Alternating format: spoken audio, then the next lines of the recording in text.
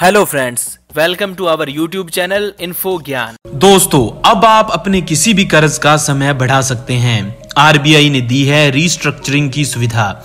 ये दो साल तक होगी वैलिड रीस्ट्रक्चरिंग को लेकर अभी पूरी गाइडलाइन सामने आना बाकी है, जो कि बहुत जल्द आने वाली है। पहले रीस्ट्रक्चरिंग कॉरपोरेट लोन में ही बैंक करते थे।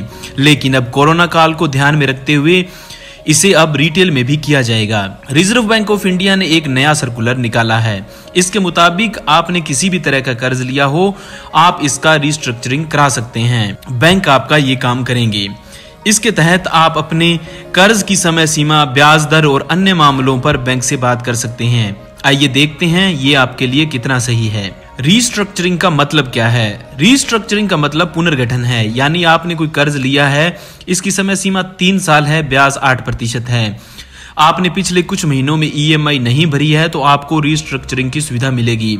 हालाँकि ये बैंक के ऊपर है कि वह किस तरह आपको छूट देगा या नहीं देगा। एग्ज़ाम्पल के लिए 20 लाख का कर्ज लिया है तो मुझे क्या करना चाहिए?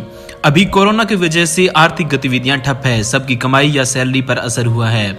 अगर आप भी इसमें से हैं तो आपकी सैलरी पर असर हुआ है या बिज़नेस से कमाई नहीं हो रही तो आप इसे चुन सकते हैं। आप अपने बैंक के पास जाइए और बैंक से कहिए कि आपको लोन रिस्ट्रक्चरिंग करना है। आपको यह वह पूरी जानकारी बता देगा। रिस्ट्रक्चरिंग में क्या क्या हो सकता है? रिस्ट्रक्चरिंग उस ग्राहक के लोन की होगी जिसने पिछले कुछ समय में किस्तों का भुगतान नहीं किया है। जो ग्राहक रेगुलर ईएमआई दे रहे हैं, वे इस सुविधा का लाभ नहीं उठा पाएँगे। रिस्ट्रक्चरिंग के तहत मान लीजिए आपकी ईएमआई दस हज़ार रूपए प्रति महीना है। आपने चार महीने से ये ये ईएमआई नहीं भरी है और आपका लोन का समय पाँच साल बाकी है। तो बैंक आपको ये चार महीने की ईएमआई उसी पाँच साल में बांट देगा। यही नहीं, आप चाहते हैं कि आपकी ईएमआई की राशि कम हो जाए तो आप बैंक से अपने कर्ज भरने की समय सीमा बढ़वा सकते हैं। इससे आपको ये फ़ायदा होगा कि आपकी ईएमआई मासिक कम हो जाएगी।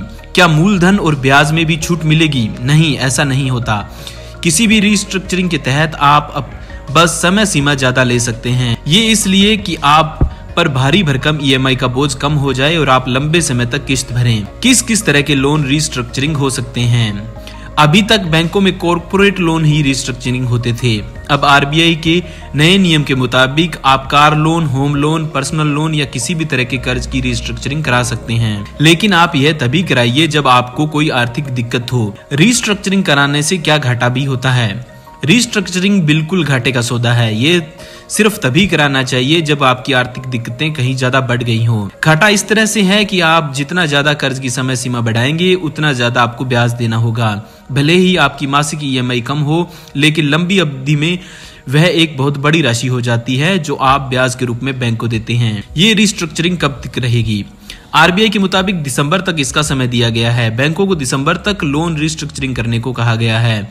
हालाँकि आरबीआई ने यह भी कहा है कि दिसंबर की अंतिम तारीख तक इंतज़ार करने या रिस्ट्रक्चरिंग करने की बजाय बैंकों को इसे जल्दी से जल्दी करना चाहिए। दो साल तक ये चलेगी। क्या रिस्ट्रक्चरिंग मेरा अधिकार है? नहीं, ऐसा नहीं है। रिस्ट्रक्चरिंग बैंक की मर्ज़ी है। रिस्ट्रक्चरिंग की सुविधा आपको तभी मिलेगी जब आपका रिकॉर्ड सही होगा। आपका लोन एनपीए नहीं होगा, आप डिफ़ॉल्ट नहीं होंगे। आरबीआई ने कहा है कि उसने वन टाइम विंडो शुरू की है। आप बैंक से रीपेमेंट का नया टर्म पूछ सकते हैं। आपको अतिरिक्त क्रेडिट क्रेडिट की सुविधा भी मिल जाएगी।